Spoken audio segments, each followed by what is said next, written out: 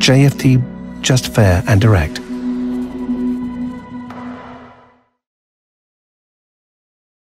Einen wunderschönen guten Tag in die erlauchte Runde der Zuschauer zum heutigen JFD Webinar Live Charting, Clusteranalyse, Trading Ideen, ein reichhaltiges Paket. Ich will annehmen, ihr seid gut in den Tag der Liebe gestartet und insofern wollen wir doch mal sehen, was uns da denn die Märkte kredenzen. Ja, an der Stelle heute wieder mit dem lieben Bernd am Start und meine Wenigkeit. Wir werden euch die nächste Stunde versüßen, um hier mal zu schauen, was die Märkte denn eben so bieten. Wir haben, und das muss man natürlich vorausschicken, heute wieder am Nachmittag Daten, die ja, seit längerem wichtiger denn je sind natürlich hier die Inflationszahlen aus den USA. Das wird natürlich Thema 1430 sein, insofern da einige Impulse zu erwarten. Wir schauen dennoch ein Stück weit auf das große Bild und auf den ja, Tagescharts einiger Indizes lässt sich auch das ein oder andere mutmaßen. Wollen doch mal sehen, wo die Märkte da heute Abend schließen. So, ansonsten Andreas ist in Twitch sogar live drauf. Insofern Grüße in die Twitch-Runde und natürlich auch in den erlauchten Kreis, der sich jetzt hier weiter sanft füllt.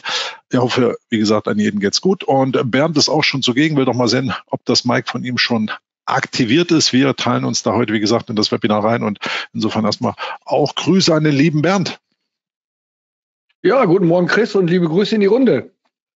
Ausgezeichneter Ton, wunderbar, Bernd. Ähm, du hast schon wieder den Bleistift gespitzt und hast mit Lineal und Schablone hier entsprechend fleißig schon Charts gezeichnet, beziehungsweise auch das ein oder andere Tool zur äh, Klassifizierung verwendet, so wie mir schon zuteil wurde. Das ist korrekt, ja. Wir schauen uns heute den Seasonal Bull Selection Screener an und da gibt es zwei, drei interessante Aktien, die ich vorstellen möchte. Und äh, ja, zu den laufenden Trades dann vielleicht auch noch ein bisschen was. Währungspaare aktuell nicht äh, im, im Fokus, äh, eher Aktien. Mhm, auch gut, dass du sagst, ähm, heute, wie gesagt, würde ich auch gar nicht den Fokus so auf Währungen richten wollen. Ich will so einen kleinen Rundumschlag mal auf die Indizes machen ähm, und dann eben auch ein Stück weit dann auf Aktien von dir sozusagen auch eingehen, beziehungsweise die eine oder andere Aktie habe ich vielleicht auch noch in petto, aber prima ist das gar nicht der Fokus, denn also der Fokus vielmehr Forex nicht, denn da haben wir morgen das Devisenradar. Da geht es dann eine ganze Stunde rund um Währungspaare. Insofern wollen wir die heute ein bisschen unberücksichtigt lassen. Zudem heute Morgen gab es ja Gold und Euro-US-Dollar im Devisenradar das sollte eigentlich jeder abgeholt sein. Also lange äh, genug jetzt der Vorrede. Ihr wisst es, wenn wir jetzt auch Trades zeigen, beziehungsweise Bernd auch laufende Positionen darstellt, ich auch auf den Nasdaq zum Beispiel eingehe und Ideen kreiere, dann ist das klarerweise niemals eine Handelsempfehlung. Leute, ihr handelt auf eigenes Risiko, müsst sehen, dass ihr euer Risikomanagement im Griff habt und natürlich auch hier nach eigenem Couleur vorgeht. Ja, Ideen und Impulse sich äh, ranzuziehen, ist nie verkehrt, insbesondere auch, wie Bernd schon sagte, beispielsweise durch den Selection Screener oder beim Forex Bowl eben auch durch den Forex Bowl und den entsprechenden Tools. Nur schlussendlich muss jeder dann selbst die Entscheidung übernehmen. Also keine Handelsempfehlung. Dann will ich mal starten, Bernd. Äh, du, wie gesagt, hast, wie gesagt, keine Währung. Heute eigentlich nur primär Aktien dann auf dem Fokus. Ne? Also sozusagen ähm, keine, keine, keine Rohstoffe deines Zeichens auch im Visier. Da bist du praktisch heute rein auf die, auf die klassischen Aktien fokussiert. Richtig, heute gibt's äh, nur, nur, in Anführungsstrichen, nur klassische, äh, klassische nicht, aber äh, ausgewählte Aktien von mir. Oh, das ist ja schon mal gut zu wissen. Also da wollen wir doch mal sehen, was dann von Bern kommt. Wie gesagt, die Indizes, und dann müsste eigentlich jeder von euch eigentlich auf gleicher Flur unterwegs sein, haben hier ein krasses Reversal ein äh, gefahren. Der DAX hier auch mit einer gewissen Outperformance, wobei ich hier immer auch zu bedenken gebe, Leute. Ja, wir haben es hier mit dem Performance DAX zu tun, okay? Ich meine, der ist hier gnadenlos gepimpt mit Dividenden. Der Vergleich zwischen den US-Indizes hinkt hier sichtlich, ja, weil es da praktisch um die Kursindizes geht, wo eben die Dividenden nicht mit eingerechnet sind. Ich werde auch hier, und den Chart habe ich jetzt hier in meiner Watchlist noch gar nicht drin, aber den Kurs Index-Chart in Zukunft auch häufiger mal analysieren, der, der praktisch die bessere Relevanz darstellt zum äh, Pendant oder zu den Pendants in den USA. Ähm, da schwerpunktmäßig schaue ich ja mal gerne auf den S&P 500, der und jetzt mal eine kleine Frage in die Runde, auch an die Twitch-Zuschauer, sich hier in einem ja, interessanten Gebaren darstellt, ähnlich der Nasdaq. Wer kann mir denn sagen, nach was das hier aussieht? Also speziell beim Nasdaq, aber der S&P 500 eigentlich in gleicher Flur. Sprich, die letzten Tage, ja, die letzten Tage der Formationsentwicklung, hier schicke ich das mal voraus. Wer hat denn da eine Idee? Einfach mal kurz ähm, ja, angesagt, beziehungsweise vielmehr reingeschrieben in den Chat, nach was das aussieht. Tatsache ist aber, bevor wir das jetzt ein Stück weit weiter ausarbeiten, wir haben neben dem DAX, der hier ein Stück weit Outperformance geliefert hat, auch bei den US-Indizes die Abwärtstrends seit den Allzeithochs gebrochen. Ja, sowohl der S&P 500, der für mich eigentlich als das äh, ja, Indexvehikel schlechthin gilt, weil der praktisch mal die Vorgabe macht. Beim Nasdaq 100 gab es sogar den Ausbruch schon früher, aber auch hier deutlich tiefer abgesackt. Nur sehen wir jetzt hier ganz spannend, dass hier eben die ganzen Abwärtstrendbewegungen ja dynamisch überwunden wurden und ein jeder, der jetzt hier Aktien eingesammelt hat zum Ausklang 22 zu Beginn 23, dürfte sich hier über eine sehr, sehr ansehnliche Performance freuen. Ob das natürlich so bleibt, das wird einerseits heute auch ein Stück weit, ja, ich sag's mal, durch Impulse manifestiert, andererseits natürlich auch die weitere Entwicklung der Notenbanken ähm, maßgeblich beeinflussen. Tatsache ist, und das habe ich gerade richtig gelesen hier vom Michael, Grüße an der Runde. Der Rest ist vielleicht hier noch ein bisschen unbescholten. Vielleicht der Andreas auch eine Idee aus dem Norden beziehungsweise von den Twitch-Zuschauern, was das wohl hier sein könnte. Ähm, ich zeichne mal vorsichtig vor. Ja, ist jetzt nicht idealtypisch, Leute, aber das ist relativ offensichtlich. Also ich muss sagen, das habe ich jetzt dann am Wochenende, äh, sage ich mal, mit einem Blick gesehen, dass das schon in diese Richtung geht. Lasst uns denn hier einfach mal so eine Art Trendkanal skizzieren. Das geht oben los und das ziehe ich mal nach unten. Und was wird das wohl sein? Ah, was wird das wohl sein? Rein statistisch und auch charttechnisch natürlich dann entsprechend abgeleitet, haben wir es hier mit einer Bullflag zu tun. Ja, die hat statistisch tatsächlich einen Ausbruchscharakter nach Norden, also rein münzwurftechnisch ziehen die Preise in einer starken Frequenz nach oben ist natürlich nicht immer der Fall, aber wir können heute davon ausgehen, dass die Inflationsdaten am Nachmittag, das ist natürlich dann vorbörslich, sprich 15.30 zum US-Opening, dann, ähm, ich würde mal sagen, ein Gap mehr oder weniger hier in den Chart reingemeißelt wird. Und die Frage wird sein, ist das Gap hier inmitten dieser Bullflag oder bricht der Markt sogar schon aus? Sehen wir Eröffnungsgaps, dann kann das immer praktisch dann auch zu einer Folge von ja, Kaufeluphorie führen, ähm, würde dann hier beim Nasdaq im Prinzip auch eine starke Fortsetzung der bislang eingeschlagenen bullischen Tendenz ja, befürworten. Muss man ganz klar sagen. Ich denke, da haben wir heute einen schönen Tag, um auch auf Sicht des weiteren Wochenverlaufs, unter Umständen auch bis zum Monatsausklang Februars, ein Stück weit ja eine weitere Tendenz abzuleiten. Also heute wird tatsächlich ein Impuls folgen. Der Schlusspreis zählt natürlich neben dieser Hektik um 14.30 Uhr, ähm, ist aber davon auszugehen, dass wir dann zumindest mal eine Indikation für die nächsten Tage auch haben. Und klarerweise wäre ein neues Tief, also unter dem Tief hier vom 10.2. oder eben dann speziell der Ausbruch auf ein neues Wochenhoch hier sicherlich dann eine Impulsgebung für Folgesignale oder auch Folgetendenzen. Natürlich haben die Aktien selbst, da wird der Bernd auch ein Stück weit ins Universum schauen. Ich weiß gar nicht, Bernd, hast du auch Short-Kandidaten dabei oder ausschließlich Long? Wie ist denn das? Ähm, ich habe einen Short-Kandidaten äh, Short dabei und ähm, einen Long. Und wenn es die Zeit, wenn es die Zeit noch zulässt, noch, noch einen Long. Aber schauen wir einfach mal. Also erstmal ein Short, ein Long. Aber laufende Position aktuell nur Long, oder? Die laufenden sind alle Long, ja. Ah, genau. Also wie gesagt, den Trend schon mitgenommen. Ähm, insofern ist jetzt interessant auch, dass Bernd sowohl zweierlei Maß hat. Also sprich, hm, könnte natürlich einerseits auch spannend werden im Rahmen einer Short-Idee. Letztlich, Leute, müssen wir immer die Markt Märkte entscheiden lassen. Wir können nur spekulieren. Das ist ja Sinn und Zweck der Maßnahme beim Börsenhandel. Wir spekulieren auf eine zukünftige Entwicklung. Und was wir natürlich hier bei der Clusteranalyse tun, ist nur sozusagen den Chart in Verbindung mit saisonalen Effekten, in Verbindung mit Cluster in Form von Fibonacci reinzubringen und so weiter und so fort. Das ist natürlich das, was das Webinar auch auszeichnet. Deswegen lasst mich jetzt mal beim Nasdaq 100 ein Stück weit das kurzfristigere Bild nochmal aktualisieren beziehungsweise hier in den Fokus nehmen.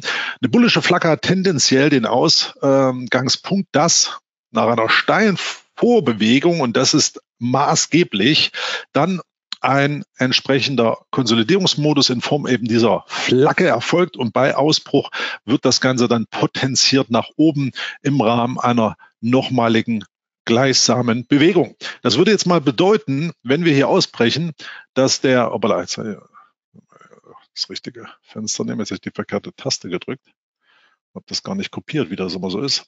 Das würde also bedeuten, so, jetzt habe ich es richtiger, dass wir hier rund 20 Prozent nochmal auflegen können, Leute, wenn der Nasdaq jetzt hier im Rahmen seiner bullischen Vorbewegung aus der Flagge ausbricht. So, wir können den Ausbruchspunkt nehmen als Auflagepunkt. Wir können aber auch sozusagen hier das letzte Hoch knapp unter 12.900 nehmen. Faktisch dürften wir in Richtung 15.000 ansteigen können. Das ist natürlich jetzt die Frage, ob das innerhalb von vier Wochen passiert oder innerhalb des Frühjahrsverlaufs. Grundsätzlich erlaubt die bullische Flagge aber eben hier genau eine solche Impulsbewegung. Das ist auch im Prinzip erforderlich, dass wenn die Märkte einen ja, Impuls bekommen und insofern hier eine charttechnische Ausgangslage in Form einer Bullflag, dann sollte Schrägstrich muss es relativ dynamisch weitergehen. Ja, das ist Sinn und Zweck der äh, Bullflag. Du hast einen Auf, ähm, einen Aufwärts- oder es gibt ja auch die Bearflags im Prinzip hast du einen Vorgängerimpuls relativ dynamisch, so wie wir es hier sehen. Dann gibt es eine kurzfristige Konsolidierung, die dann ebenfalls dynamisch aufgelöst wird. Soll heißen, wenn jetzt der Nasdaq 100 und wir haben hier Widerstandscluster voraus, ja, bei 12.900, wie gerade schon gesagt, kam drunter und die 13.100. Das ist sozusagen hier eine Widerstandszone, die sich sozusagen aus den ja, Tiefs und auch Price-Action-Punkten des letzten Jahres ableitet, inklusive hier dieser, sage ich mal, dieser kleinen Dips sogar vom Mai 2021. Wir wollen gar nicht zu weit zurückgehen. Tatsache ist es aber, dass wir hier in dieser Ausgangslage gegenwärtig ja dann tatsächlich hier dynamisch ausbrechen müssen. Und das geht natürlich wahrscheinlich damit einher, dass die Inflation unter Umständen weiterfällt, die US-Notenbank an der Stelle die Zinsen doch nicht so stark erhöht und so weiter und so fort. Das ist zumindest mal die Analogie der Annahme, dass wir hier nach oben ausbrechen. Das, wie gesagt, werden wir heute Nachmittag ein Stück weit aufgelöst wissen und ich will euch gleich hier nochmal jetzt die Fibonaccis noch mit einzeichnen, denn es ist natürlich auch ein Fakt, je früher die Preise wieder aufdrehen, desto bullischer ist das natürlich, gerade bei Fibonacci. Insofern wichtig, dass wir hier auch die Retracements reinsetzen. Und da haben wir hier sozusagen das Minimum. Es gibt noch das 14,6er, aber wir wollen es jetzt nicht übertreiben. Das 23,6er ist sozusagen eine wirklich, sage ich mal, sehr ähm, zaghafte Konsolidierung. Und je weniger ein Markt zurücksetzt im Rahmen einer Konsolidierung, desto bullischer ist deren Folgetendenz dann einzuschätzen. Soll heißen, wenn ein Markt bis zum 61,8er Level zurückfällt, dann ist die Wahrscheinlichkeit, dass wir das frühere Hoch rausnehmen, jetzt hier bezogen auf den Nasdaq speziell, ja, eher hinlänglich. Das wird eine Weile dauern. Es wird sich hinziehen, bis wir neue Hochs machen. Sollte der Markt wirklich mal bis zum 61er Retracement zurückfallen. Das heißt, da wird es dann keine V-Umkehr oder ähnlich dynamische Bewegung geben, wie wir jetzt mal dem Index unterstellen. Hier speziell als Trigger finde ich übrigens spannend das heutige Tageshoch oder das gestrige Tageshoch äh, dient mir eher weniger dazu. Speziell hier die zwei Kerzen vom 8. und 9.2. Spannend, also hier das Niveau von 12.688, 12.700 ist für mich ein Trigger-Level auf der Oberseite, das dann interessant wird, wenn eben wir heute mit einem Upgap beispielsweise reinkommen und der Index die Performance weiter ausbaut. Das wäre der bullische Verlauf. Geht der Markt nach unten, sprich nehmen wir auch das Tief hier vom 10.2. raus, machen innerhalb dieser Bullflag weitere Tiefs, dann löst es sich natürlich auf und dann gehen wir direkt mal auf diese Alternative, die wir einzeichnen müssen. Und dann löst sich übrigens auch so eine, ich will sagen, bullische Sharp-Formation auf, ja, also so eine Flagge, eine Flaggen, eine Bullflag, Konstellation ist nicht hier dafür geeicht, dass das Ganze jetzt auf Tageschartbasis über mehrere Wochen dahin geht. Ja, das muss jetzt hier tatsächlich dieser Tage seinen Abschluss finden. Das heißt, der Markt, der jetzt hier nach diesem bullischen Aufwärtsimpuls konsolidiert, sollte recht zeitnah wieder in die Fortsetzung nach oben gehen. Wenn das nicht passiert, nun ja, dann haben wir hier im Prinzip ein CS Tau ziehen, vielleicht ein Touch auf das 61,8er Level und dann dürfte der Index zunächst Blick auf die nächsten Monate oder das ist zu weit gesprochen mit Blick auf die nächsten Wochen, eher seitwärts, abwärts tendieren. Ja, also aufgepasst, das wird heute meines Erachtens eine Stellschraube sein. Ähm, Ausbruch über 13.100 wäre dann das absolut prozyklische, bullische Fortsetzungssignal. So lässt sich der Nasdaq 100 mal einfangen. Ich will an der Stelle aber auch nicht verheimlichen, dass, und da gehen wir jetzt auf den saisonalen Cluster-Effekt, dass der Nasdaq mit Blick auf die, ja, ich sag's mal, kurzfristigen Geschehnisse der letzten fünf Jahre bis in den März hinein, ihr seht es, schwaches. Ja, von den letzten fünf Jahren sind drei abwärts gerechnet. Gehe ich auf die letzten zehn Jahre, sieht das nicht wirklich besser aus. Gerade insbesondere große Schwäche. Wir müssen aber das Corona-Jahr mal rausnehmen. Das sieht zwar nicht ganz so düster aus, ja, weil wir wissen natürlich, was da 2020 passiert ist. Wir sehen es auch hier mit diesem Durchschlag nach unten. Das verwischt natürlich die Statistik ein wenig.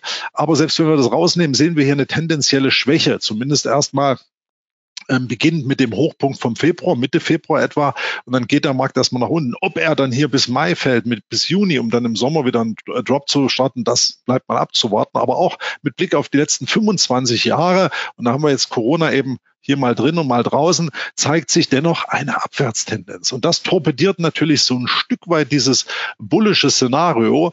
Und Leute, ihr müsst euch natürlich hier, je nachdem, in welchem Zeitfenster ihr unterwegs seid, auch damit arrangieren, dass die Bullflag beispielsweise jetzt hier aufgelöst wird, dann aber keine dynamische Fortsetzung findet, sondern sich hier an diesem Widerstandslevel zwischen 12.900, 13.100 festbeißt und es hier sozusagen ein Fake wird. Das heißt also, selbst wenn wir heute nach oben auflösen, ist es wichtig, dass der Markt auch ähnlich dynamisch tatsächlich wie hier zum Jahresbeginn anfängt anzusteigen. Wenn das ausbleibt, ja, dann wird die Luft, sage ich mal, buchstäblich oben immer dünner und dann kann das Ganze hier dann spätestens eben kurze Zeit später nach dem Ausbruchslevel hier wieder nach unten kippen. Und wenn wir dann eine saisonal schwache Tendenz bekommen, dann könnten wir auch im weiteren Jahresverlauf, ach, sage ich mal nur Jahresverlauf, im weiteren Wochenverlauf viel mehr abwärts tendieren. Und da will ich euch auch direkt mal den ganz großen Chart mitbringen vom Nasdaq 100 der hier sozusagen mal mit Blick auf die letzten Jahrzehnte einhergeht, speziell hier 99, äh, 2000er Dotcom-Blase, absolut eskalative Phase. Und wir sehen hier nach der Finanzmarktkrise auch diesen wunderschönen Aufwärtstrend, der sozusagen das bullischste Jahrzehnt ever vielen Aktionären, vielen neuen Ak Neuaktionären und überhaupt dem Markt bescherte. Ähm, Gerade die Techs, ihr wisst das, die Fangaktien und Co. haben natürlich hier außerordentliche Performances hingelegt. Und nun ja, Jetzt hat das Ganze hier seinen Top gefunden bei 16.765 Punkten rund. Seitdem droppen wir nach unten. Übrigens, diese Trendlinie hier ist auch ganz spannend, hat sich tatsächlich als, ich sag's mal, zumindest Touchpoint erwiesen. Und nun ja, wir sehen, dass der Nasdaq auch hier nach unten sogar rausgefallen ist unter die langfristige Aufwärtstrendlinie. Es ist wieder nur eine schräge Trendlinie. Wir wollen es nicht sozusagen zu ähm, ja, überbewertet wissen. Aber das war schon mal ein negatives Signal. Zielmarke bei mir hier der Bereich von 10.000, Worst Case sogar 8.000, wenn der Markt wirklich in einen großen Bärenmarkt übergeht. Und das, Leute, wird sich, jetzt kann ich über Monate sprechen, im weiteren Jahresverlauf tatsächlich sondieren müssen. Denn möglicherweise haben wir erstmal den Teil der großen Korrektur gesehen. Ihr kennt den S&P 500 Index, den Siebenjahreszyklus. Da sind wir schon mal minus 27 Prozent gefallen. Im Schnitt fallen die Märkte aber durchaus auch über 35 Prozent bis zu 50 Prozent. So wie wir das praktisch, gut, Nasdaq hat ja hier auch zur Dotcom-Blase einen kräftigen Schlag gekriegt, zur Finanzmarktkrise. Nicht ganz so heftig, aber auch kräftig gefallen. Da haben wir den Siebenjahresrhythmus. 15 blieb aus. Und jetzt haben wir wieder diesen sieben Jahreszeitraum, wo entweder das Ganze tatsächlich schon vorbei ist oder wir nochmal eine oben drauf kriegen. Ich würde mal ein Stück weit mutmaßen, dass wir die Allzeithochs zunächst erstmal in weiter Ferne wissen selbst wenn wir die bullische Flagge auflösen, jetzt in, 15, in Richtung 15.000 ansteigen, glaube ich long term, dass wir hier eher in einen größeren Seitwärtsmarkt übergehen, um, und das ist jetzt der Monatschart hier, diese steile Performance, die wir seit der Finanzmarktkrise gesehen haben, buchstäblich auszukonsolidieren. Ja, es könnte sich natürlich ja, ähnlich hier auch auf Big Picture Basis dann eine bullische Flagge etablieren. Ähm, die sehen wir natürlich jetzt in dem Fall nicht wirklich. Da hat sich hier sozusagen schon mit dem Rausbohren so ein Stück weit ja das Ganze erledigt. Und das ist auch rein von der Musterart und vom Neigungswinkel jetzt nicht wirklich eine bullische Flagge. Aber dass wir jetzt hier eben direkt nochmal so eine Anschlussperformance sehen für die nächsten zehn Jahre, das würde ich fast ausschließen, weil die Märkte sind einfach extrem heiß gelaufen.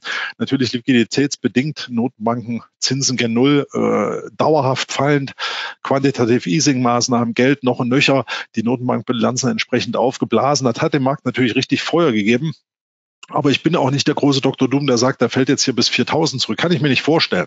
Tatsache ist aber, der Nasdaq hat sich hier auch mit Schwäche gezeigt und wir sind noch nicht aus dem Gröbsten raus. Und das, wie gesagt, würde sich auch heute, das ist das große Bild, jetzt hier im kleinen Bild erstmal weiter darstellen, ob wir jetzt eben dann tatsächlich aufdrehen können oder nicht. Im großen Bild, bestenfalls, wie gesagt, haben wir hier tatsächlich Potenzial wieder eine Rückkehr äh, des Aufwärtstrendkanals. Das wäre dann auch der Fall, wenn man Richtung 14.000, 15.000 Punkte ziehen. Ja, das wäre auch eine sehr, sehr starke Kerze. Wäre dann auch ein neues Mehrmonatshoch.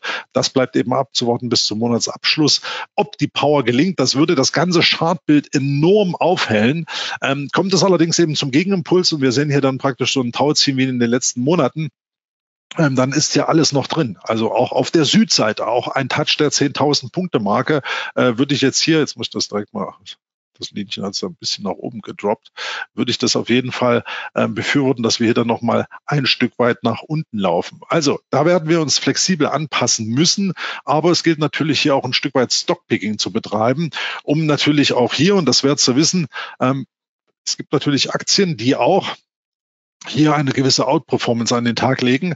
Zum Beispiel, ja, da geht der Bernd dann natürlich auch auf verschiedene Season-Pattern ein, die wir uns noch anschauen. Aber ich will auch sagen, in den letzten Jahren gab es eben auch Aktien oder vielmehr in der Korrekturphase, wie zum Beispiel die Rio Tinto, die ich hier auch schon mal betrachtete, die hier durchaus stabil daherkam. Ja, und das im Übrigen auch für kleine Dividendenjäger, jetzt mal so ein kleiner Hinweis. Das Teil hat hier eine Dividendenrendite von größer acht Prozent. Und das, obwohl wir hier auf Allzeithöchstkursen notieren ähm, Rohstoffe vielleicht mal nicht die schlechteste Idee während der nächsten Jahre. Auch vor dem Hintergrund, dass vielleicht Techs jetzt nicht mehr so outperformen haben wir wieder das äh, äh, Growth Value Ding. Am Ende ist es aber tatsächlich spannend, ob hier zum Beispiel die Rio Tinto sich jetzt am EMA 50 erhält oder ob sie wieder diese Abwärtstrendlinie nach unten ja wieder durchbohrt. Wichtig wäre, dass sie da drüber verweilt, die Rio Tinto Aktie. Hier Widerstand schön abgewiesen bei 62, 63 Pfund. Wichtig ist hier, dass der Markt aber tatsächlich ähm, seine Umkehr bald findet. Würde jetzt auch für einen bullischen, hat zwar jetzt nichts direkt mit der Tech-Aktie zu tun, aber würde auch mit einem bullischen Konstellationsfortsetzungsmuster beim S&P 500 einhergehen, beziehungsweise beim Nasdaq. Denn hier, schaut euch das mal an, ist das auch eine Art sehr steile Konsolidierung, die auch jetzt ihr Ende finden sollte, idealerweise. Und wie gesagt, es gibt eben Aktien, die einerseits generell Outperformance, andererseits aber natürlich auch Aktien, die unter bestimmten Perioden, und da wird dann der Bernd gleich ein Stück weit Einblicke liefern, ähm, hier gerade auch im Kontext des Seasonal Bulls, der dann eben hier sozusagen aufzeigt, welche Pattern-Signale hier interessant wirken. Und zwar, man kann auch sozusagen von Swing Trading klassischer Natur sprechen. Die Aktien sind hier von vier bis 24 Tagen sondiert, Schrägstrich auch Indizes, Rohstoffe, Forex. Aber der Schwerpunkt liegt tatsächlich auf den Aktien, die man hier mehr oder weniger sondiert, um dann am Ende des Tages sein, ja, Account, sein Depot immer wieder auch flexibel anzupassen und hier eine Outperformance mit eben den, ich sag's mal, temporär, saisonal, zyklisch bedingten stärksten Aktien zu finden. Und wir haben einige Aktien im Portfolio, die hier gescannt werden. Und der ein oder andere von euch wird sie vielleicht gar nicht kennen, weil es geht auch um Nebenwerte. Hier geht es nicht immer um die Adidas, um die Siemens oder Facebook oder Google, sondern es sind hier auch die kleinen Nebenwerte, die tatsächlich hier immer wieder auch für Interesse sorgen. Und wer da mal Einblicke kriegen will, der klickt einfach mal hier auf den Newsletter. Ich share auch mal direkt im Chat und der kann hier auch mal über den Tellerrand Einblicke in unsere Vorgehensweise krieg, äh, kriegen, bekommen auch hier der Forex Bull dabei mit dem Intraday Trading sicherlich ein schönes Paket, was man sich mal anschauen sollte, wenn man hier am Ende des Tages an den Märkten agiert. Da noch kleiner kleiner Ergänzungshieb die Börsenbullen sind sozusagen das Pendant beider Bullen, des Forex Bulls und des Seasonal Bulls. Und hier mit dem kostenfreien Briefing bekommst du einfach ein paar Insights, wie praktisch auch Bernd vorgeht, beziehungsweise welche Aktien beim Seasonal Bull speziell oder eben beim Forex Bull, welche Intraday-Pattern hier von Interesse sind. Also da einfach mal nutzen, reingeschaut und ansonsten wichtig für euch zu wissen, dass wenn man die Märkte nutzt, natürlich auch hier das mit dem richtigen Broker tun sollte. Und hier Side Note, Börsenbullen sind hier konnektiv verbunden mit JFD als Datenquelle. Ja, du kannst also alle Aktien, die da drinnen auftauchen, beim Seasonal Bull als solches speziell oder auch beim Devisen Forex Bull ähm, hier mit sozusagen dem JFD-Konto nutzen, beziehungsweise hier hast du die Synchronisation der Werte. Und da reden wir über knapp 700 Werte, die wir hier äh, im Fokus haben. Und in der Tat ist das sozusagen ein ausreichendes Universum. Ja, wir haben nicht diese kanadischen äh, Minenaktien oder irgendwelche ähm, ähm, weiß ich nicht, äh, Cannabis Explorer werde oder solche kleinen Penny Stocks. Nein, wir haben hier die Blue Chips und da finden sich tatsächlich immer wieder interessante Werte. Also schaut da gerne mal rein, schaut euch bei den Börsenbullen um, hat sicherlich einen großen Mehrwert. Und ansonsten bleibt es mir mal jetzt gespannt, ähm, zu verweilen und gleich auf Bern zu verweisen, was dann eben heute Nachmittag die CPI-Daten bringen. Da, wie gesagt, Leute, achtet auf 14.30 ähm, Da haben wir die Verbraucherpreise in verschiedenen ähm, sag ich mal, Konstellationen und eben auch Rates. Wichtig ist oder wird sein, geht die Inflationsrate zurück. Es wird erwartet, ja, das ist hier die Prognose, dass wir hier sozusagen um 0,3 zurückgehen ja, werden die Erwartungen erfüllt? Ja, nein, vielleicht. Wir wissen es am Ende des Tages und wir werden auch sehen, wie der Nasdaq hier diese Konstellation auflösen wird. Alright, lieber Bernd, bei mir ruft schon wieder der nächste, äh, sage ich mal, die nächste Deadline. Ich will mal fragen, ob du sozusagen bereit bist, den Bildschirm zu übernehmen und an der Stelle auch ja ein Stück weit dann eben auch interessante Werte zu zeigen, die denn da so bei dir im Radar sind. Ja klar, du kannst mir gerne den Bildschirm rüberschieben. Bleibst noch bis dabei, bleibst noch dabei, oder? Nebenbei. Also nee. Mm, nee, leider ja. nicht. Ich werde mich, ich werde dir sozusagen die Orgrechte geben, mein lieber Bernd. Ähm, bin jetzt noch oh. ein paar Minuten dabei, würde dir aber das Zepter der Macht übergeben und ähm, ja, eine gute halbe Stunde, je nachdem, wie viel die, wie viel Werte du jetzt sozusagen durch äh, bekommst, beziehungsweise welche Möglichkeiten sich da auftun. Ähm, wie gesagt, dieses Webinar ist grob für eine Stunde angesetzt. Wenn die Teilnehmer keine Fragen haben oder eigene Wunschwerte, die wir analysieren können, dann sind wir hier auch durchaus mal nach 45 Minuten durch. Ähm, das wird sich zeigen, je nachdem, welche Fragen reinkommen, beziehungsweise was ihr auf der Fahne habt. Und eure Meinung an der Stelle vielleicht auch jetzt direkt gefragt, wenn ich den Bildschirm dann gleich mal zum Bernd schiebe. Seid ihr denn eher bullisch gestimmt für den Nasdaq mit Blick auf den ja, Februar-März-Verlauf oder eher bärisch? Das würde mich mal interessieren. Was favorisiert ihr denn? Unabhängig der CBI-Daten von heute, sondern vielmehr eben, ja, Rechnet sie mit einem weiteren Ausbruch nach oben, weitere Dynamik oder eher so der Drop nach unten und seitwärts? Gib's mir gerne mal ein Feedback in den Chat. Und dir, lieber Bernd, würde ich den Bildschirm tatsächlich jetzt rüberschieben. Ja, her damit. Jawohl. So soll es sein, Bernd Boy. Ähm, dann äh, nenne ich dich mal zum erstmal Moderator und dann schiebe ich den Org gleich nach, okay? Okay. So, während Bernd jetzt den Bildschirm mal ähm, sozusagen zuordnet, dann sehe ich schon rein, äh, sehe ich gerade, ja, vielerlei Kandidaten sind bullish tatsächlich. Ähm, Bernd, ich sehe deinen Bildschirm, um die Frage vielleicht gleich vorwegzunehmen. Dein Bildschirm ist da, du bist eh gut zu hören. Wir sehen die Position, wir sehen ähm, Aktien, die der ein oder andere vielleicht noch nie gehört hat. Ähm, aber das ist ja gerade das Spannende. Ja. Also gut, da unten haben wir jetzt zum Beispiel auch äh, eine Nemetschek, sollte eigentlich jeder kennen. Nvidia ähm, ähm, ist auch dabei, beziehungsweise eine Puma. Also sind viele bekannte Aktien, aber auch, ähm, sage ich mal, unbekanntere. Und ja, da könntest du einfach mal ein bisschen rumspielen mit dem Tool. So, Bernd, jetzt gebe ich dir erstmal die Ohrrechte und dann bist du eigentlich durch und siehst auch sozusagen die erlauchten Teilnehmerfragen und dann ja, kann es weitergehen. Ich, sehe ich, die Fragen sehe ich leider noch nicht, aber einen Blick, Teilnehmer.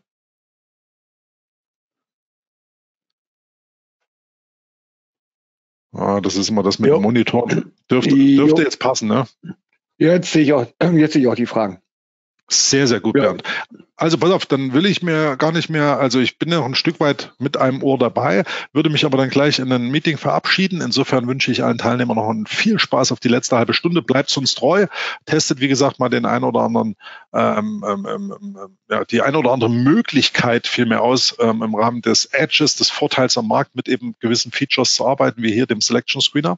Und dann wünsche ich euch und uns noch viel Spaß und warten mal ab, wo uns die Märkte hintreiben in den nächsten Tagen und Wochen. Alles klar, Chris, vielen Dank und ich übernehme.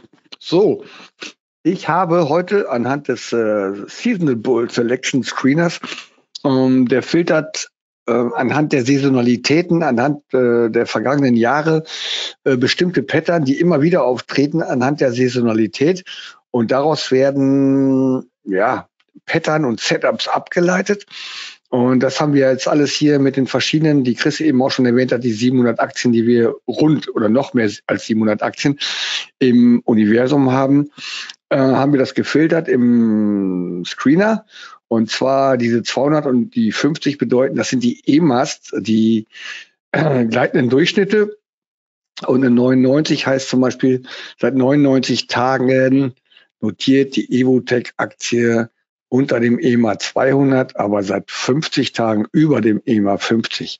Das schauen wir uns dann gleich im Chart an hier. Ich meine, den Chart, na, den habe ich jetzt hier. Na, das ist noch nicht der Evotech-Chart, das ist der Evotech-Chart. Machen wir mal ein bisschen größer. Und anhand dieser Pattern und der Vergangenheitswerte habe ich hier ein Startdatum mit dem, mit dem heutigen Tag, 14.02. Und das endet am 27.02., also neun Handelstage. Und in den letzten 21 Jahren äh, gab es mit einer Trefferquote von 76 Prozent äh, genau diesen Erwartungswert und diesen Stop-Loss, den möglichen. Und daraus errechnet sich ein CRV von 2,58. Für mich bei den Aktien ist alles erst interessant über 2,5 eher Richtung 3. Und wenn man sich jetzt diesen Wert hier anklickt, dann sieht man sofort im Chart, das ist jetzt wie gesagt aus MetaTrader heraus, das Chance-Risikoprofil genau mit den Pattern hier, also genau mit dem Setup. Und man sieht jetzt hier unten auf der rechten Seite, ganz unten hier mit dem blauen, es folgen noch vier weitere Pattern, die sind aber jetzt nicht alle in dieser Liste aufgeführt, sondern wenn ich jetzt hier auf den blauen äh, Button klicke, dann sehe ich, dass äh, wahrscheinlich morgen noch eins folgt, einen Tag später, und ähm, zwei Tage später, drei Tage später. Also die nächsten Tage liegen nur Short-Setups vor. Und das CRV ändert sich hier automatisch, immer wenn ich jetzt hier zurückgehe. Äh, alle, jede Stunde wird dieses CRV automatisch im Chart aktualisiert.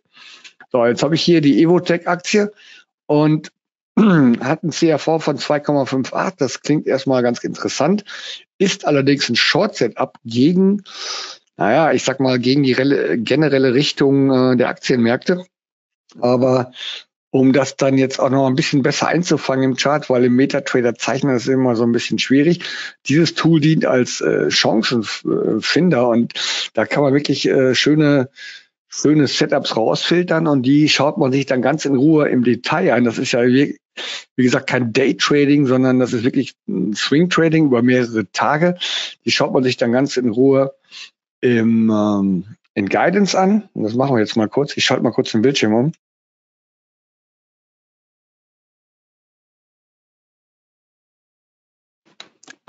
So, haben wir denn hier? Da ist er. So, jetzt habe ich hier die Evotech-Aktie im großen Bild. Und jetzt haben wir ganz klar einen Abwärtstrend vorliegen. Das kann man mal ganz, ganz klar so äh, definieren. Diese schrägen Trendlinien, die kann man überall ansetzen. Generell ist der Trend eindeutig noch weiter abwärts. Was habe ich noch im Chart? Wir sind in der Clusteranalyse.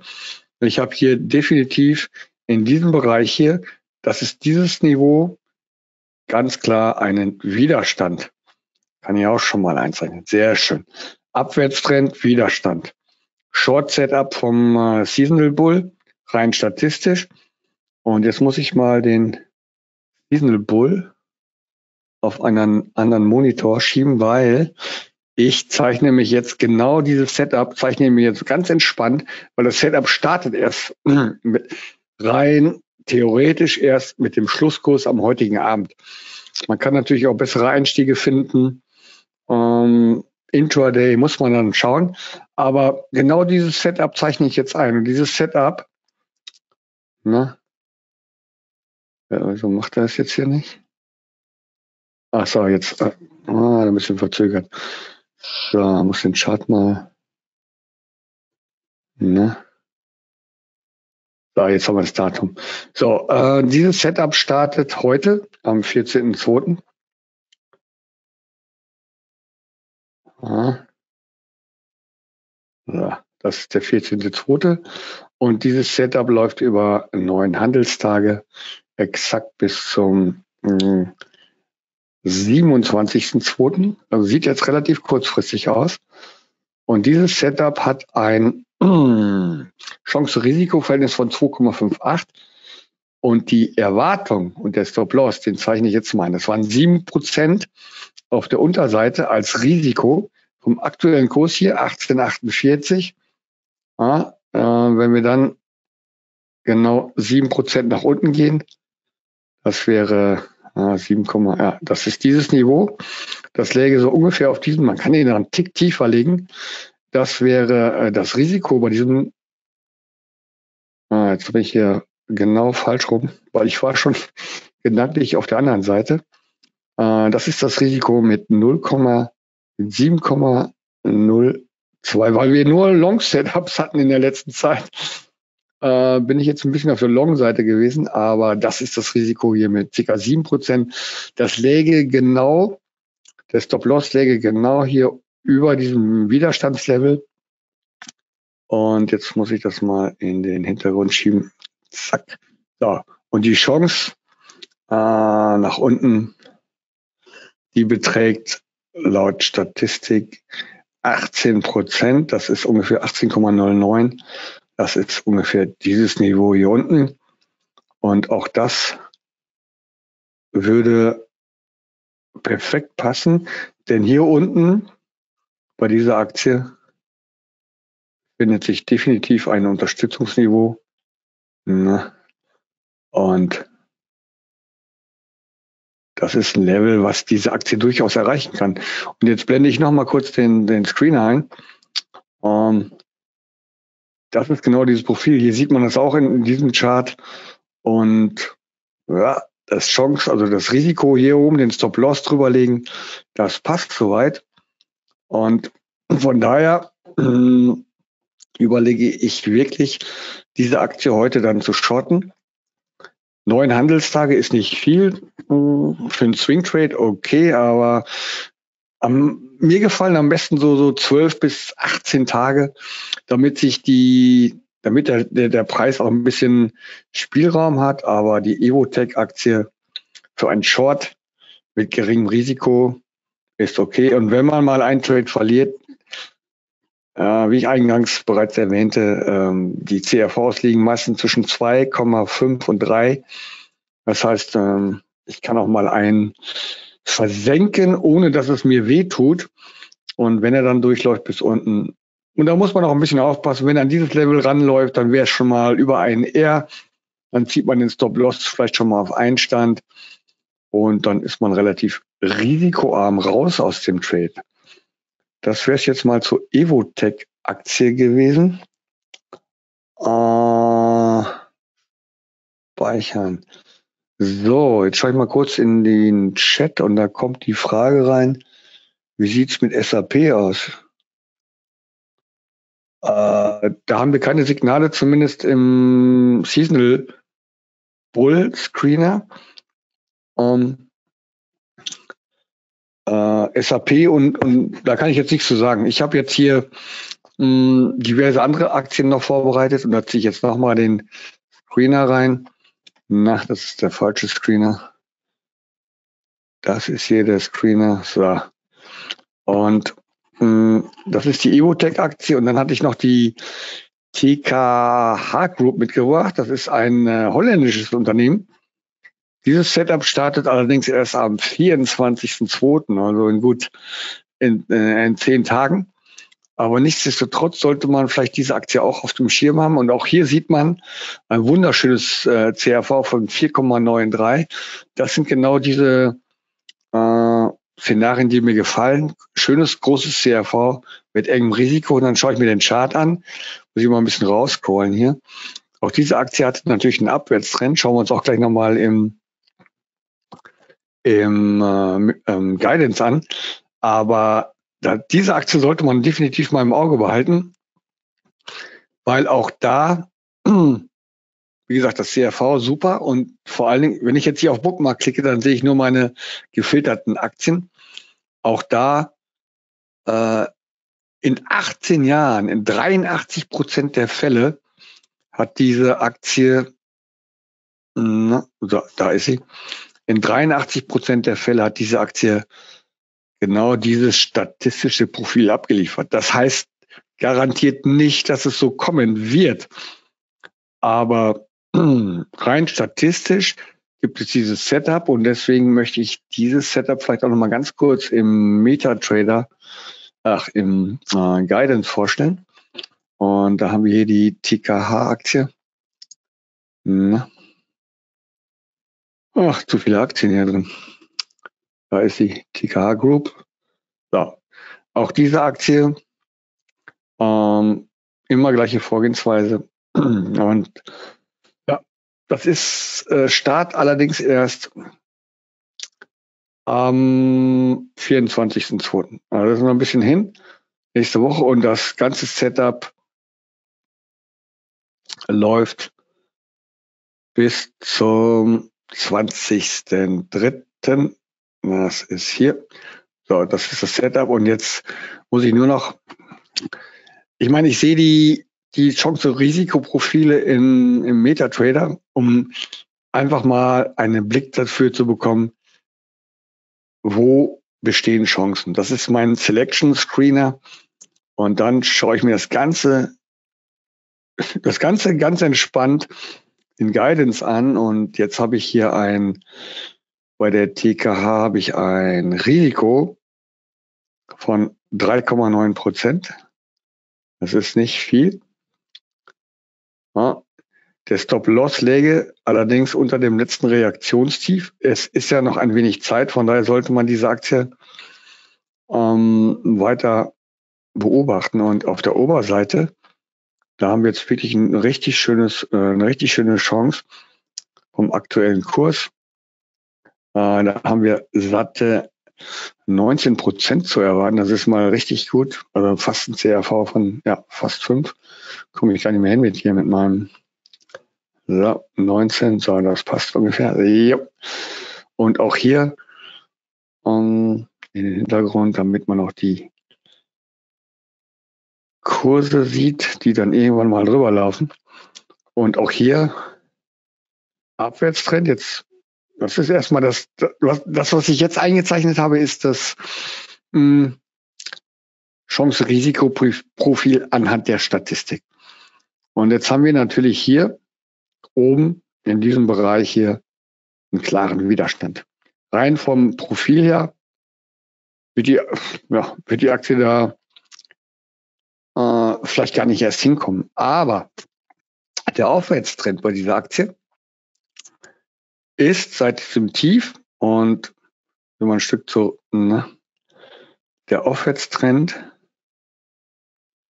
ist natürlich jetzt bei dieser Aktie klar intakt. Jetzt kann man die so anlegen an den, an den Tief, ähm, an den Schlusskursen oder an den Dochten, Tagestiefs oder wie auch immer. Der Trend ist auf jeden Fall klar erkennbar nach oben. Und jetzt zeichne ich hier nochmal einen Unterstützung ein. Und das ist jetzt auch ein Niveau, wo ich sage, ja, das ist ein Niveau, dient auch als Unterstützung. Jetzt kann man auch noch die Fibos einzeichnen. Und das machen wir mal in Grau jetzt hier. Und die Aktie hat ja schon einen guten Weg hingelegt bis zu diesen Hochs hier. Ja, das ist alles noch im Rahmen hier. 38,2. Ja, das passt soweit.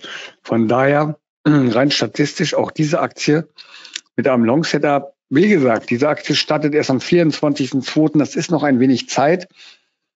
Und das muss man sich mal alles in Ruhe anschauen. So, die Aktie habe ich gespeichert. Genau. So. Setup zu TKH Group aus Holland. Die ist so wie es auch im vergleichbar mit unserem DAX 40 im äh, Dutch äh, 25 oder wie heißt es, Holland Netherlands 25 oder irgendwie so. Äh, nein, das ist äh, eine, eine Aktie, das ist kein Penny Stock oder irgendwie sowas. Und jetzt hatte ich hier noch die Equinex, aber die startet erst am 28.02. Ich schieb's mal kurz rein. Das ist die Equinex-Aktie. Die startet allerdings erst am 28.02. Müssen wir mal schauen, 3,84. Und jetzt nehme ich mal hier die Bookmarks wieder raus. Und so habt ihr hier im Screen auf jeden Fall eine Menge Aktien, die man screenen kann. Man kann auch eine Gerresheimer noch nehmen.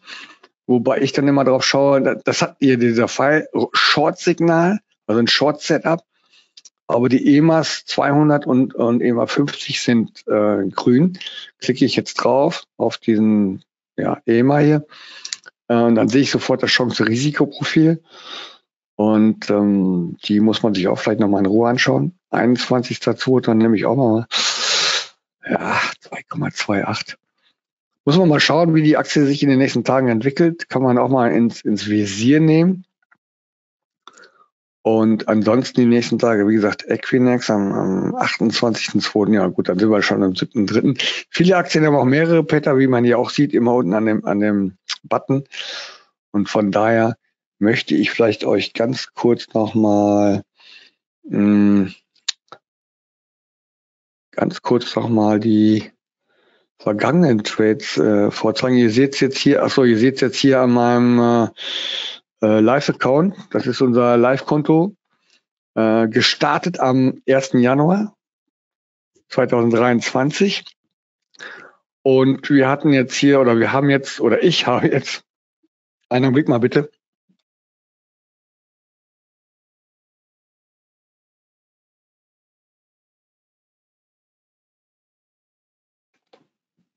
So, musste man einen Schluck trinken. Ähm, ja, diese Kürzel hier unten, MA steht für Mastercard, kennt jeder aus den USA.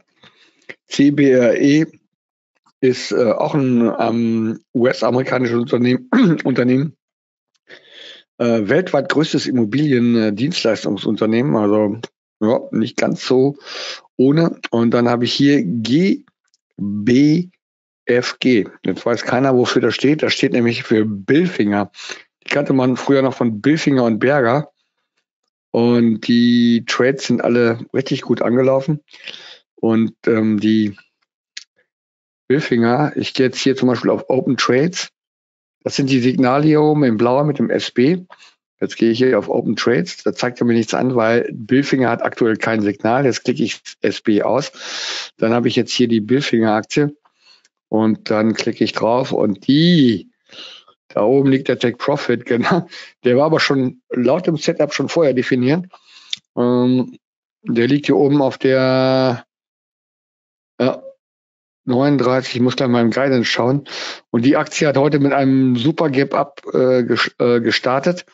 War auch schon bei 36,44. Also die untere Position war schon richtig, richtig äh, schön im Gewinn hätte man überlegen können, ob man den Stop-Loss direkt nicht auf Einstand zieht. Aber diesen Tag heute mit dem Gap-Up, den muss man mal, das ist äh, das Schöne beim Swing-Trading, man muss nicht sofort agieren, man kann auch ähm, ganz entspannt mal einen Tag zuschauen und das brennt immer noch nichts an. Es sei denn, die Aktie kehrt jetzt komplett um, aber denke ich mal nicht. Also von daher, also die Schwankungen hier unten auf dem Konto, das, das ging dann runter, das ging ja schon über zwei und dann wieder mal unter 1000. Aber äh, das muss man mal ganz kurz auch mal ganz entspannt aussitzen. Und dann haben wir die CBA Group. Ja, die ist mit äh, 800 aktuell im Plus. Der Einstieg war hier, genau an diesem Level mit dem, mit dem, ich glaube, mein Guidance nochmal kurz. Auch auf dem Weg nach oben. Take Profit liegt hier oben standardmäßig laut Statistik. Auch da muss man ein bisschen schauen, wie, wie, wie managt man den Trade dann. Und äh, Mastercard hatten wir gerade. Ne? Master, nee, Mastercard hatten wir noch nicht. Mastercard ist so ein bisschen, hm, wie soll ich sagen, kommt nicht so richtig in Schwung. War eigentlich ein schönes Ausbruchslevel, aber ich zeige es jetzt nochmal in Guidance. Und dann gehen wir mal ganz kurz jetzt mal hier. Wir hatten, ach so, die Everest das ist eine, eine, der größte Rückversicherer in den äh, USA, so ähnlich wie die Münchner Rück in Deutschland. Die hatte auch schon ein äh, Setup hier am 24. Januar. Und da wurde der Trade äh, abends gestartet zu 343 Dollar. Und ähm, ja, was soll man sagen? Also ähm, äh, auch mit dem Gap Up dann direkt in den Take Profit vordefiniert. Und das Setup endet eh am, oder hätte geendet am 17.02. Aber es hat sich jetzt erledigt, weil der Trade ist schon geschlossen. Am 9.02. automatisch dann mit dem Gap Up. Und dann haben wir die Mastercard, die kann uns auch noch mal ganz kurz hier im, äh, in Guidance anschauen, mein Chart auch nochmal groß. Ja, die Aktie um, ähm, läuft auch nur noch äh, zwei Tage, kommt nicht so richtig vom Fleck. Aufwärtstrend äh, war schön, leider gebrochen so ein bisschen und ja, also jetzt muss man mal schauen, entweder kommt der Stop-Loss und äh, der liegt bei auf 360, äh, 24. Aber ja, muss man mal schauen. Also da jetzt noch äh, vorzeitig irgendwas zu machen, na, entweder Stop-Loss oder sie zieht noch mal durch, ist ein bisschen schade, aber nicht weiter tragisch, sagen wir es so. Everest hatten wir, Billfinger und Berger hatten wir auch schon angeschaut. Und jetzt hatte ich noch die Everest Mastercard. Ah, so mal schauen. Wo ist denn hier? Ich muss die Währung mal aus meiner Aktienliste löschen. Das ist ein bisschen. Ah, den hatten wir, oder? Ah, ne, CB, genau, ja. Der Trade äh, läuft auch super an. Und wenn der jetzt hier dieses äh, Hoch vom äh, 2.2. rausnimmt, dann könnte man durchaus überlegen, den Stop-Loss vielleicht auf Einstand zu ziehen. Und den Rest sollte man einfach mal abwarten. So, jetzt schaue ich noch mal kurz in den Chat. Äh, wie sieht es SAP? Achso, SAP hatte ich ja gesagt, ja. Äh, Stefan, äh, könntest du was zum Euro-US-Dollar sagen? Ähm, Stefan, der, der, ich weiß nicht, ob Intraday oder Daily Chart, der Chris hatte heute Morgen in, seinem, in seiner Sendung ausführlich äh, Gold und auch den Euro-US-Dollar äh, analysiert und von daher schau einfach mal auf der YouTube-Seite von JFT und, und schau dir das Video nochmal an zum, zum Devisenradar heute Morgen und dann bist du bestens informiert in Sachen Euro-US-Dollar. So, jetzt Rudolf, die Frage. Ach, Stefan schreibt, war bei Markus um 10 Uhr. Hat er den auch analysiert? Warst im Live-Trading oben, Stefan? Ja, dann hat er den wahrscheinlich auch analysiert. Ja. So, der Rudolf fragt, was kostet der Screener-Service? Ja, Rudolf, dann äh, pass auf, dann schau einfach mal hier auf den, äh, muss mal kurz die äh, Seite wechseln. Schau einfach mal hier äh, beim Seasonal Bull. Den, die Seite hatte der Chris ja eben, glaube ich, schon in den Chat gestellt. Und dann äh, hast du automatisch äh, na, äh, hast du automatisch auch die Preise und die Pakete, die wir anbieten. Es gibt ja auch nicht nur das Monatspaket, sondern auch das äh, sechs Monats- oder Jahresabo. Und äh, der kostet 99 Euro im Monat. Und damit hast du reichlich Signale. Wenn ich jetzt nochmal in äh, in das Live-Charting gehe hier, ähm, wir haben jetzt, und das, das Konto läuft ja erst seit dem 1. Januar, haben wir bereits jetzt so, oder habe ich jetzt bereits eine Rendite von 4,6 Prozent und das gerade mal innerhalb von anderthalb Monaten. Gut, die Zahlen sind jetzt hier noch nicht in Stein gemeißelt, das kann sich auch wieder ändern. Aber generell hat man mit dem Seasonal Bull Screener, mh, hm, für viele ist das immer so ein bisschen unspektakulär, weil wenig Action passiert, aber der ruhige Anleger und der Swing Trader, der braucht ein bisschen Ruhe und na gut, dann kommen halt die die Renditen halt nicht innerhalb von äh, ein, zwei, drei Tagen und ich habe hier meine fünf Prozent, sondern kontinuierlich und stetig ähm, ist bei mir beim, beim Aktien und beim Swing Trading äh, das Wichtigste. Und von daher schau einfach mal auf äh, unserer Website vorbei, informier dich über die Pakete. Und jetzt schreibt der Horst noch, was ist die Datengrundlage, Stock 3? Äh, was meinst du mit Datengrundlage? Du meinst für den Screener? Das sind die, äh, das sind die Kurse, also die Aktienkurse sind von JFD und die Datengrundlage, das ist, äh, das ist, ähm, wie soll ich sagen, das ist ein Tool, was entwickelt wurde, ähnlich dem Forex Bull, wo aufgrund der Vergangenheitsdaten immer wieder Pattern und Setups äh, analysiert werden und dieses Tool wurde halt äh, programmiert und wir liefern die Daten von JFD als Aktienkurs, also die Aktienkurse werden von JFD geliefert und die Setups entstehen aus der Vergangenheit.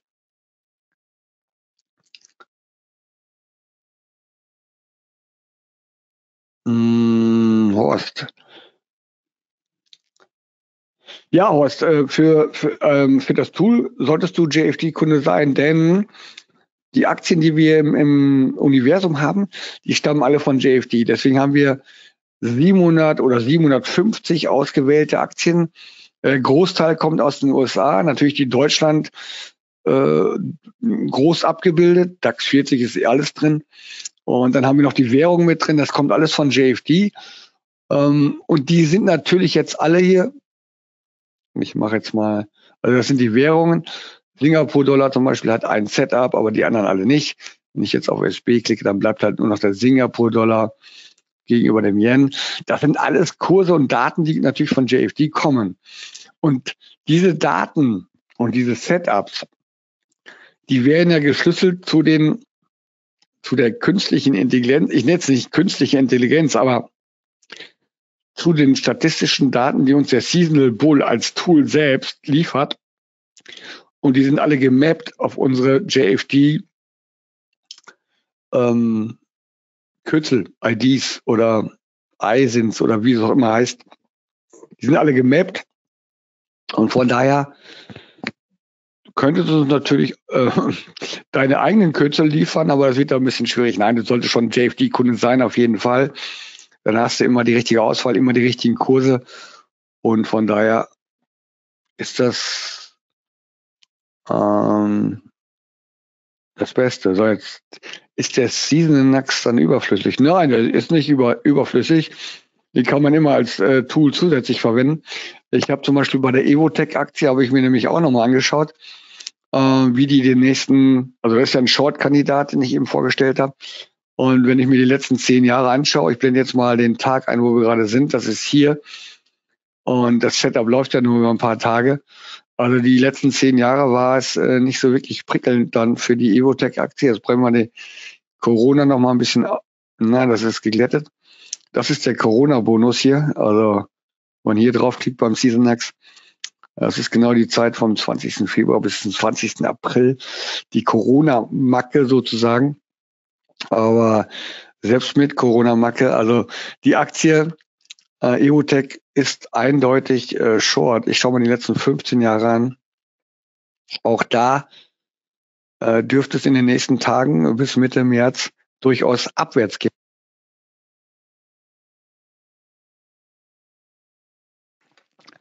So, wenn keine weiteren Fragen sind, würde ich das Webinar jetzt ähm, äh, würde ich das Webinar jetzt beenden.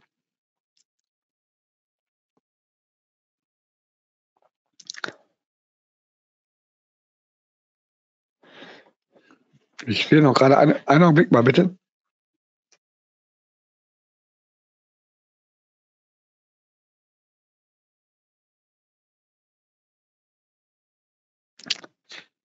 Im Forex Bull ist eine saisonale Anzeige enthalten. Wie ist das beim Seasonal Bull?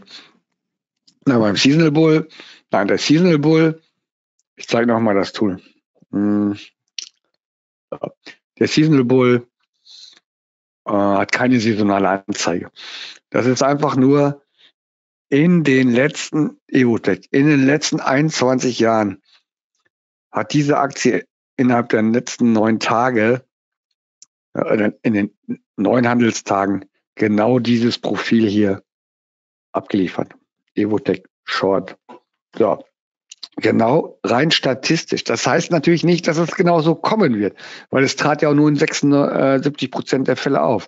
Das sind keine 100 Prozent. Aber rein statistisch ist dieses Profil aktuell. Saisonal, Saisonalität ist äh, aktuell, was heißt aktuell, ist nicht im Seasonal Bull enthalten. Aber die Saisonalität, also die Zahlen, die hier stehen, spiegeln ja die Saisonalität direkt wieder. Von daher rein saisonal hat diese Aktie genau in den letzten Jahren das gemacht. Mit den statistischen Quoten. So, Horst, ich hoffe, ich konnte deine Frage beantworten. Und dann würde ich sagen, wenn keine weiteren Fragen sind, bedanke ich mich bei allen Teilnehmern und ja, Horst, vielen Dank. Und dann hoffe ich, wir hören uns beim nächsten Webinar, spätestens morgen im Devisenradar-Webinar, was ich mit dem Chris zusammen machen werde um 11 Uhr. Und übernächste Woche gibt es schon wieder den Forex Bowl Workshop. Also seid äh, gespannt, schaut auf unsere Homepage vorbei, Webinare und Events, meldet euch an. Und ich sage vielen Dank und ciao, Servus. JFD, just fair and direct.